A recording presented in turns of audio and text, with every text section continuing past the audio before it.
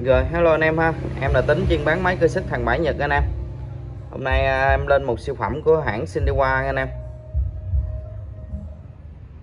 Sindewa 1036S Dòng này là dòng 4 số anh em. Dòng này chạy khỏi phải bàn anh em, Nhỏ gọn nhưng mà bích tông tới 40 ly luôn nha. Cho anh em sử dụng gia đình hoặc là khai thác tầm trung anh em. Và đặc biệt nó là sử dụng lóc nhôm luôn anh em, Nên anh em chạy là siêu bền luôn ha. Lóc là lóc hợp kim nha cho anh em đi khai thác ờ, nguyên ngày mà không sợ ờ, nó xìu máy nè. Không sợ lỏng lỏng lóc nè. Con này đẹp 99 phần trăm nè. Như mấy thùng nha, bên Nhật họ xài chỉ được một hai lần nữa anh em chắc được một hai lần à. Chắc xài đúng lần mẫu nè.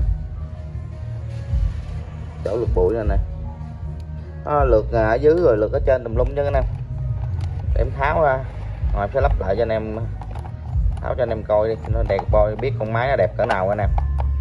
Dòng này chạy khỏi phải bàn anh em đồng bê tông là 40 ly nha hai bạc anh em rất là khủng khiếp.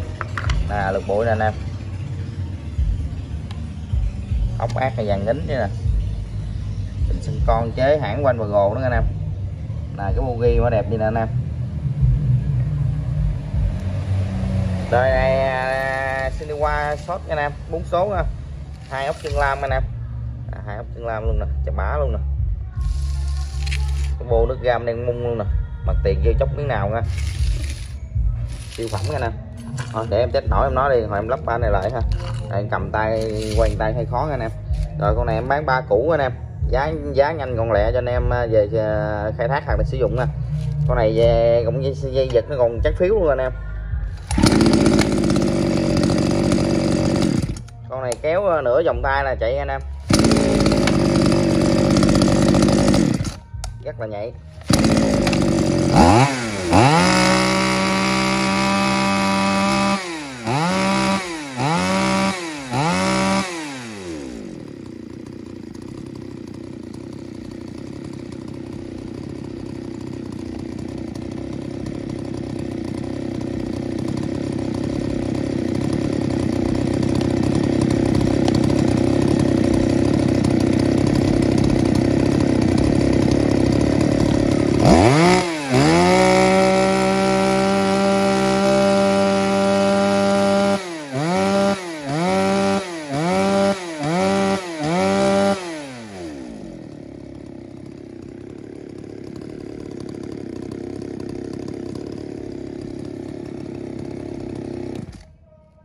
phẩm nha anh em